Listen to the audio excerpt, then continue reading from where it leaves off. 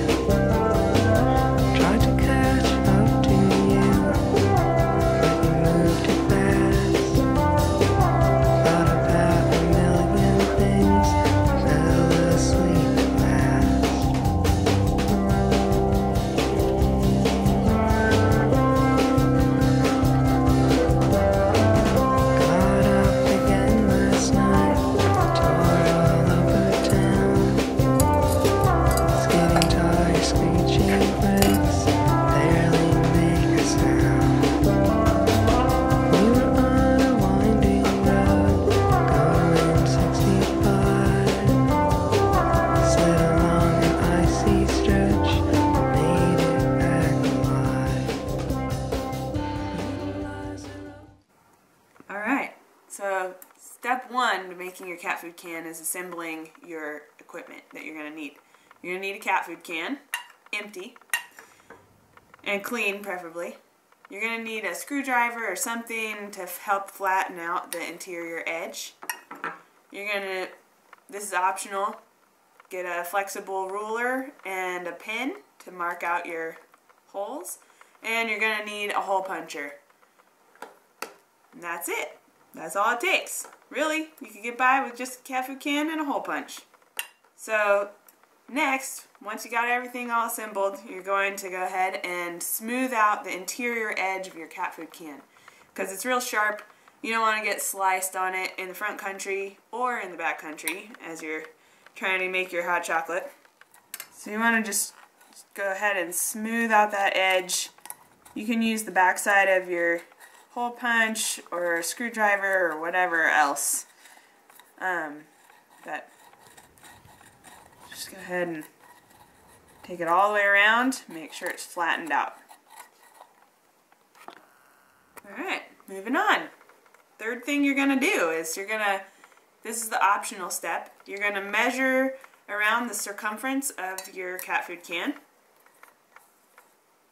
And for me, it seems to be best to have a ruler that has metric on it because centimeters are just more reasonable than inches um, for the math math impaired like myself. Um, okay, so I'm going to wrap it around, get my millimeter side up towards the front, the top edge, and my cat food can happens to be 20 centimeters around. So that means I'm going to make a centi or mark every centimeter because um, the hole of my hole punch should line up pretty nicely with, with that. Um, it's less than a centimeter around. Alright, open up pin.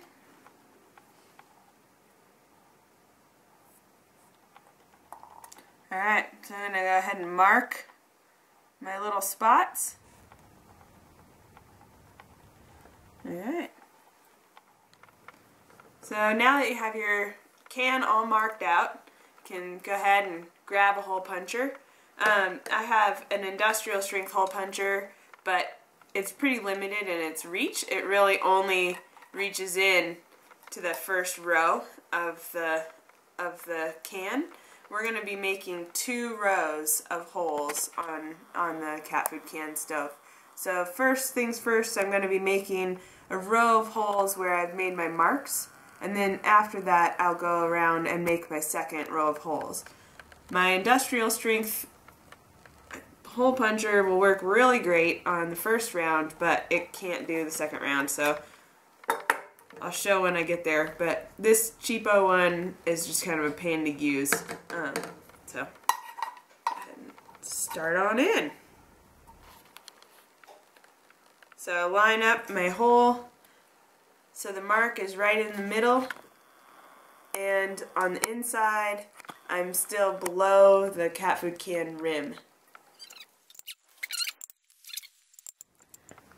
Alright, so I've got all the way around with the first row of holes and now it's time for the second row of holes. I have to bust out the crappy hole punch. Um, I hope you have more luck at the craft store than I did. Um, I want to make my second row of holes just below my first row.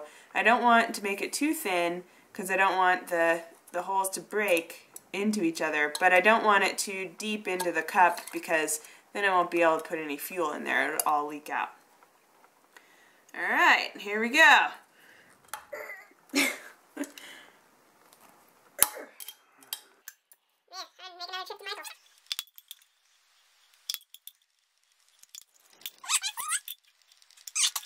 And ready to fire it up. That easy. There's little bits of cat food tin confetti all over the house. And I have a cat food can stove ready to go. And that's how much our new baby weighs. 0.2 ounces. Thanks for watching. For some more backpacking tips, come check out my website, sageclegg.com.